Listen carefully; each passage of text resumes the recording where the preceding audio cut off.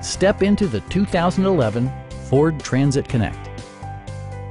Smooth gear shifts are achieved thanks to the 2-liter four-cylinder engine, providing a spirited yet composed ride and drive.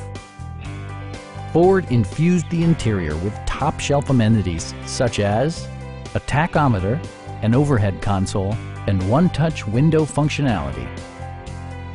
Storage solutions are integrated throughout the interior, demonstrating thoughtful attention to detail.